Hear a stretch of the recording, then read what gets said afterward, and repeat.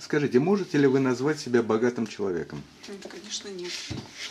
Не А, отношу себя к этой категории. Не секрет, что... Я медик, я врач. Соответственно, значит, врачей в нашей среде, в нашей России, в нашей стране богатых нет.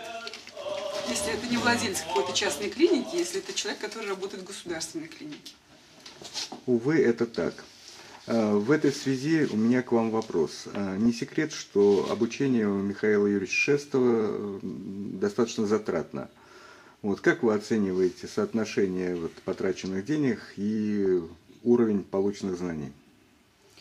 Ну, я такой человек, что я никогда не жалею о том, что я сделала. Если я приняла решение, значит, соответственно, я подумала несколько раз, прежде чем принять вот это решение. И я считаю, что я это сделала не зря.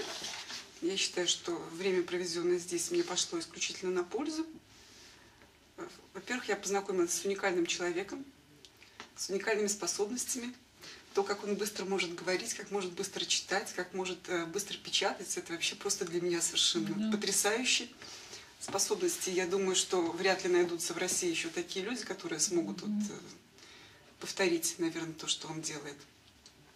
Потом, саму методику очень интересно. Э, Интересно, мне понравилось очень то, что Михаил Юрьевич показал, что, во-первых, изучение языка – это достаточно трудная, сложная работа, что это не так просто, что там, прослушав курс двухнедельный, можно овладеть языком.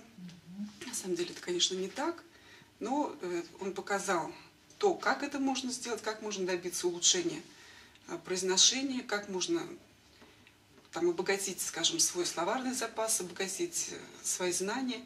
Мне очень понравилось то, что он показывает э, структуру языка, как он устроен, почему так, почему не эдак ну- нужно произносить или как построены слова. Поэтому я думаю, что все это на пользу для того, чтобы в дальнейшем заниматься языком и совершенствовать его.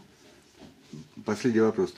И тоже. То есть вы не жалеете о потраченном времени и заплаченных деньгах? Ну, конечно, нет. Спасибо вам большое. Мы будем рады видеть вас снова у нас. Спасибо.